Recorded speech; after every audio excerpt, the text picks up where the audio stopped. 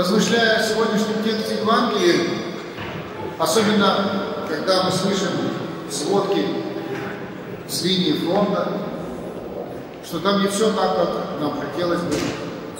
Сдаются города, отступает наши Родины. И очень много появилось таких диванных стратегов военных, которые начинают осуждать, начинают там, советоваться, обмениваться своими мнениями. С дивана воевать очень просто. И очень тяжело быть там, где крыши, разрываются жилые дома, гибнут люди, и льется реальный человеческий кровь. Вот сегодня я хочу обратить ваше внимание на слова Иисуса Христа, которые Он говорит каждому из нас. Кто хочет идти за мною, отвергни себя и возьми крест свой. Слышите? Нечего нам смотреть на кресты начальников, воинов начальников, воюющих и проигрывающих, политиков и чиновников. Мы так научились сегодня осуждать, а нести свой крест мы еще не научились. И вот задача каждого из нас в эти непростые дни понести крест свой. У тебя своих забот мало, у тебя все в семье как надо, в отношениях с близкими, в твоем внутреннем мире все как надо. Ты никого не осуждаешь, никого не досаждаешь, не гневаешься, не раздражаешься. Разве в твоей душе наведен порядок, чтобы заглядывать еще в другие души и тем самым усугублять положение как в тылу, так и на фронте? Вместо того, чтобы воздохнуть и помолиться о тех, кому сегодня трудно, мы кого-то осуждать, кого-то превозносить, а забываем о молитве. Господи, дай мне видеть мои прегрешения и не осуждать брата. Бог видит все. Бог никуда не отвернулся, и все, что происходит вокруг нас, происходит исключительно по Его воле. Но Христос обращается сегодня к каждому из нас. Свой крест возьми, на Него посмотри. Под Его тяжестью ты уже клонишься и вот-вот упадешь. Куда ты берешь на себя еще кресты других людей? Но мало того взять свои скорби, болезни, недуги, отношения со своими родными и близкими, с врагами и близкими нашими здесь, не надо далеко ходить. Сколько здесь рядом с нами желают нам доброго, а насколько мы носим под сердцем обиду, жительницы. Кто-то болеет, кто-то ухаживает за больными родными родственниками. И это все наш крест с вами. Кто-то обременен постоянным трудом, зарабатывает на хлеб насущный, а кто-то не знает, как концы с концами свести. А мы все куда-то вокруг нас, за внешний крест смотрим. Помоги нам, Господи, пронести свой, но пронести мы можем его только в том случае, если пойдем за Христом. Так сказал сам Господь. Идите за мной. Кто не возьмет Христа в свою и не последует за мной, тот и недостоин меня. Ибо кто хочет душу свою сберечь, продолжает наш Спаситель. Тот потеряет ее. А кто потеряет душу свою ради меня и Евангелия, тот сбережет ее. Толкование святых отцов относительно души есть однозначно. Оно понимается как жизнь. А значит, мы можем прочитать следующим образом. Ибо кто хочет жизнь свою сберечь, тот потеряет ее. А кто потеряет жизнь свою ради меня и Евангелия, тот сбережет ее. Господи, как здесь понять? Неужели я должен себя лишить жизни или потерять ее? Как это понять? Нет. У святителя Николая есть хорошее толкование на это место. Он хорошо сказал, что кто пытается сберечь свою земную жизнь, тот потеряет две жизни. И жизнь временную, и жизнь вечную. А кто потеряет эту жизнь ради Христа и ради Евангелия, то есть подчинить свою жизнь Евангелию, подчинить свою жизнь, работать Господи со страхом и радоваться и с тот сбережет ее, тот спасет душу от смерти, и ему будут прощены множество грехов. И так кто пытается зацепиться за эту временную жизнь, спасти себя здесь, ни у кого из нас, как и у всех предшественников, живущих до нас во Вселенной, это не удалось. И никто с собой в могилу не взял ни славы, ни богатства, ни денег, ни приобретенных домов, благ, удовольствий, чувственных наслаждений. Никто с собой в могилу не взял. Кто собирал все только на земле, погубил свою душу, свою жизнь. Вот потому Христос и говорит, хочет, слышите? Многие не хотят. Многие слышать не хотят. Казалось бы, есть такая русская поговорка, пока гром не грянет, мужик не крестится. А у нас уже гром гремит. Там уже и до нас долетает. А у нас мало кто крестится. Сколько людей спит. И просыпаться не хочет, и думает, что все это пройдет. Это надолго, братья и сестры. Это серьезно. И то, что присоединили эти территории к России, это еще большая степень ответственности, что это уже наши территории. А все происходит по-старому.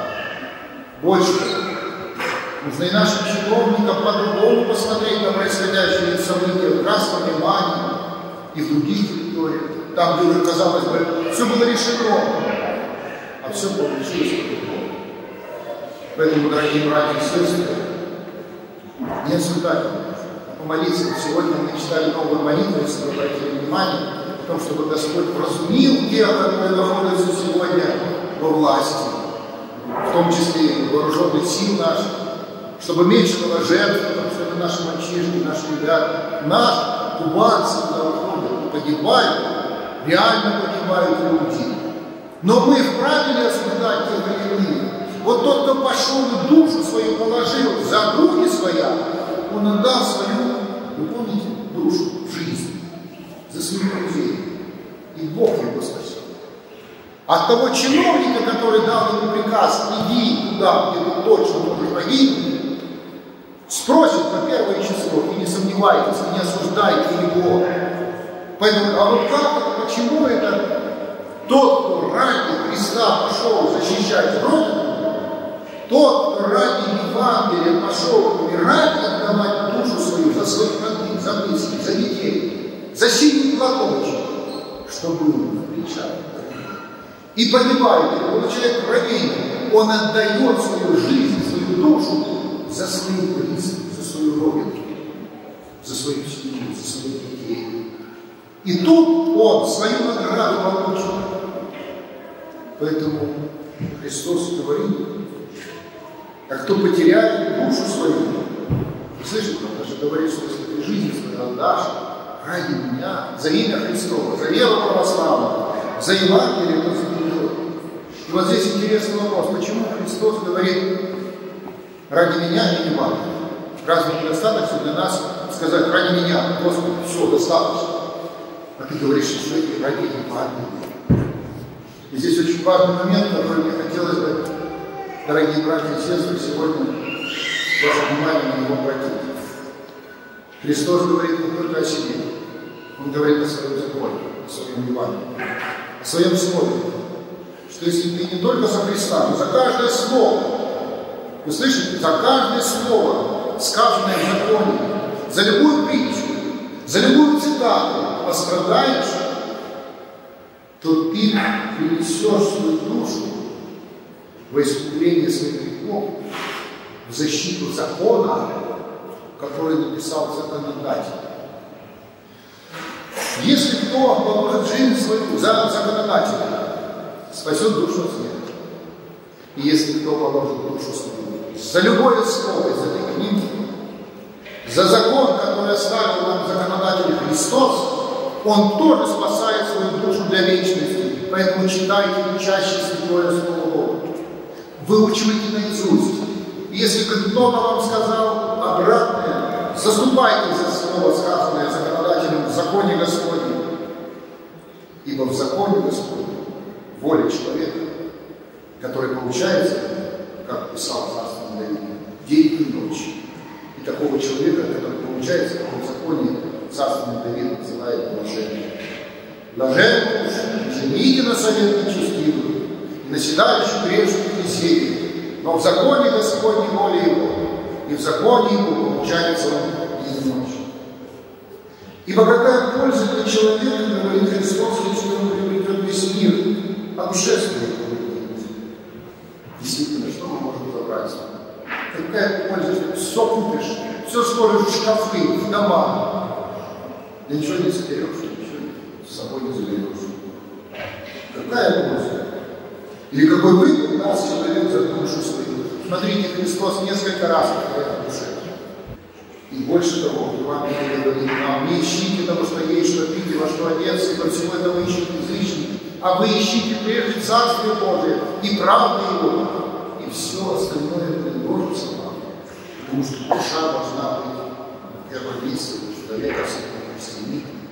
Вот почему человек понимает, что нельзя защищать свою родину, и полагает душу свою, его спасает, если, конечно, не осуждает других, и исполняет свой воинский, гражданский долг, или долг семьянина, или долг жены, долг работницы, долг человека, которого Бог вызвал из бытия в бытие этой вечной жизни, исполнять достойно, со страхом Божьим, если Бог ближе. Ибо кто постыдится меня, и не слов, сказал Христос, сил, прелюбодейного грешника. Вы слышите, в каком роде мы живем? Ну что мы его осуждаем? Садомиты, блудники, развратники, все пляшут, веселятся, все с наших кранов никак сойти не смогут. Ну как же так? Кто гуляет в наших центральных СМИ? Кто нас нагрузил в эту смехопанораму, про разврат, про раздетых женщин? этих шоу, этих смехотворных программ. Кто это делает?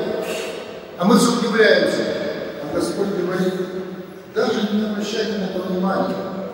Потому что этот род лукавый и прелюбодейный. Но вот если вы постыдитесь моих слов в этом роде, того постыдится и Сын Человеческий, который идет до славы Царства, до состояния И последний случай, который сегодня церковь предложил нашему вниманию, сказал Христос, истинно говорю вам, есть люди, стоящие здесь, которые не вкусят смерти, как уже будет Царство Божие, пришедшее в силу. Поэтому, Господи, Ты говоришь кому-нибудь из нас, которые стоят здесь, эти слова Христос говорит ученикам своим, и из них берет три троих, Петра, Иакова и Иоанна. И после этих слов, через шесть дней, позволить им на фавор, показывать славу своего божества в себе. Чтобы когда они увидят его распинаемого, его страдания поняли добровольнее и имели веру крепкую в истинного Господа, распятого и воскресшего победившего смерть. Вот сегодня такое Евангелие Господь предложил нам за божественной литургией. Мне хотелось бы, дорогие братья и сестры, еще раз подытожить и сказать всем, как важно, чтобы каждый из нас сегодня не осуждал, а чаще молился. Рассматривая ленты новостей, мы только раздражаемся, мы приходим в ярость, мы приходим в гнев, в цепление. Откройте чаще Евангелие. Поверьте, это успокоит душу и даст вашим сердцам мир, Христос пришел принести мир. Он так и сказал, мир пришел принести вам. Мир мой даю вам. Не так, как мир дает вам. Потому что дела мира, мы уже с вами знаем, плоти, очей, гордости, Мир проходит, и похоти его, а живущий по воле Господней жить будет вовек. Мир этот проходит, он пройдет, и мир сгорит весь. Неужели мы не знаем, что есть финал этому? Вот он будет жить по воле Господней, по закону Божьему, исполнять законодательство законодателя, поучаться нем и идти путем спасения. Тот никогда не проиграет, тот только победит. Я желаю вам победы. А победа, победившая мир, вера наша.